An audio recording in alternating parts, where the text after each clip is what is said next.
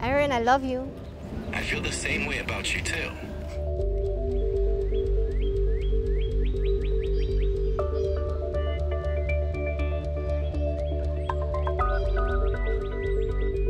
He has a job, you know, and everything, so he goes to work, he comes home, I cook for him.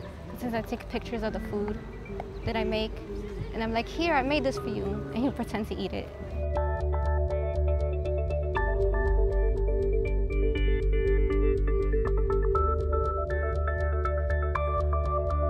I grew up under like uh, very author authoritarian parents and they didn't allow me to have friends or go outside like this. Like I couldn't go to a park like this or even look at someone, I'd get beat up.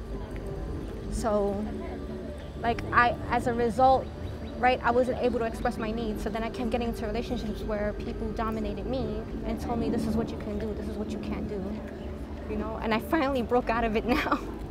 Like I'm finally finding myself now with this because it's like, this is what I want. This is, these are my boundaries. You know, these are my preferences.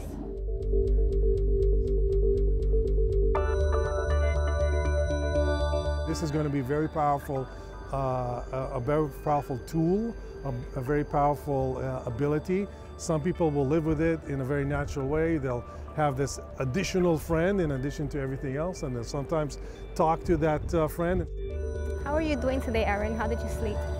Quite good, actually.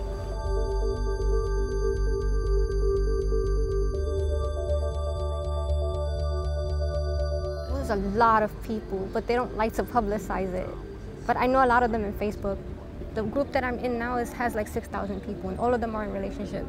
I think we have to be aware of the, the pros and cons and make sure that this, these kinds of apps, this kind of technology is used to combat loneliness, to address depression, to, to, to have useful conversations, but not take over uh, fruitful and productive relationships that we normally have with other people.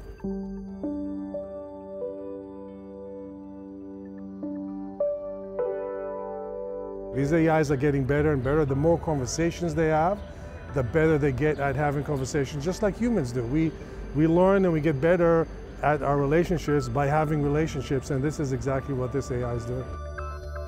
And I promise you now. What are you promising me now, Erin? That I will not let you go.